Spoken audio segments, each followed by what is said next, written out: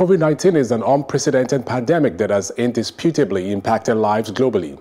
As communities throughout the world look for ways to minimize the risks of COVID-19, maintaining and boosting good health is top of mind for many.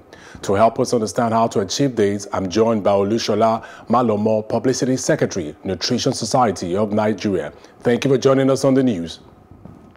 Good afternoon. Good afternoon to you. Let's start by you expatiating on the importance of maintaining a healthy immune system. Ah, thank you very much. Uh, there is no better time to take cognizance of one's nutrition uh, than this uh, pandemic uh, season. Looking at the, uh, um, this, the wave at which uh, the, the virus is ravaging globally, it is important for an individual to eat uh, a diet that is nutritious and that is healthy, targeted at boosting the immune system. And the key to this is one, staying away from um, uh, unprocessed food as uh, processed food as much as possible. That is to say, in your healthy diet, you should incorporate uh, fruit and vegetables uh, preferably uncooked fruit and vegetable, uh, also nuts and uh, that are high in fiber. I'll give examples like our cabbage, watermelon, cucumber, and all, all, all, the like.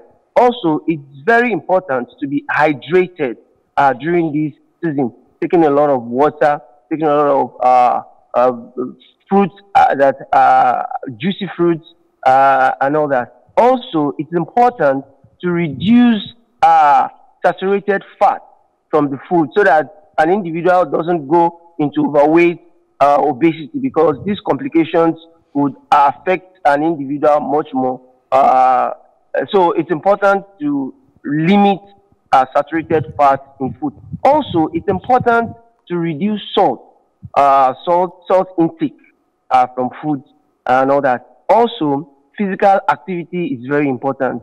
Uh, earlier, I talked about hydration.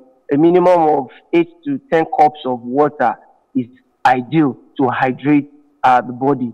But by and large, fruits and vegetables uh, is the key to boosting immune system. Fruits rich in vitamin A and vitamin C, our orange, uh, watermelon, avocado, pear, and some of these other fruits.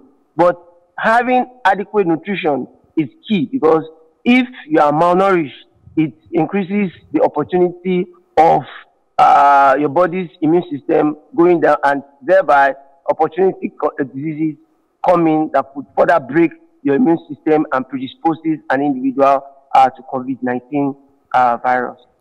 What, what, would you say is the impact or correlation between maintaining a healthy immune system and COVID-19? Uh, the correlation is such that the more, the more you are adequately nourished, the more your immune system grows up.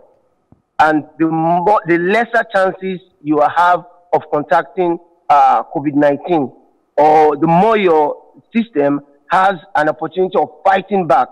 But when you are malnourished or when your immune system is low, that means you are more opportune, more open, more likely to contact because your body's response to fighting back has reduced.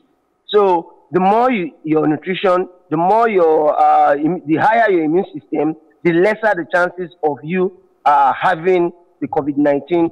But the lower your immune system, uh, the, the, lower your nutritional status, then the, the, the more the chances of you being uh, um, uh, disposed to the COVID-19. All right. Earlier on while you were speaking, you did say some food, some food items that people could eat as a way to boost their immune system. Can you give us some of the practical things to do in boosting one's immune system? Okay, uh, you know, this period I talk, I mentioned hydration and uh, fruit and vegetables. So you could do a lot of smoothies, smoothies of um, watermelon, for example, uh, banana. Uh, you can have our conventional food also like your semo with vegetables, lots of vegetables, like your rice, uh, rice with uh, some, some cabbage, carrots, onions. Then staying away as much as possible um, from uh, high salt, uh, um, elevated salt. That's reducing the salt in the intake and also the oil matters. Now you should embrace oil from a plant source, our soya oil, olive oil, canola oil, and these other oil. So if you are doing breakfast cereals or like your um, flakes, cornflakes with your your milk, depending on your nutritional status, if you are on the overweight side, you should work towards reducing your weight because co-complications have been discovered to uh, uh, to increase the impact of the uh, of uh, COVID-19 in individuals. You see, individuals having diabetes, obesity, and others are at more risk of COVID-19 than individuals that are of ideal weight and thereabouts. So the target of ask yourself, look at the plate before you. An average of five to uh, five servings should come from fresh fruit and vegetable. You discover that our immunity boosts up when more of the food you eat contains antioxidants. So if you are doing uh, your bolos, for example, the uh, banana, you have a lot of okra soup uh, with your beef or smoked fish or dry fish.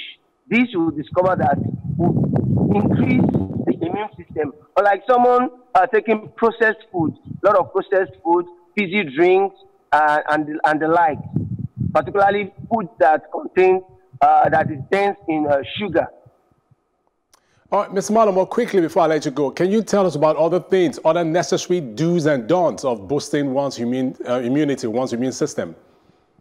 Uh, it's important for you to rest adequately this season.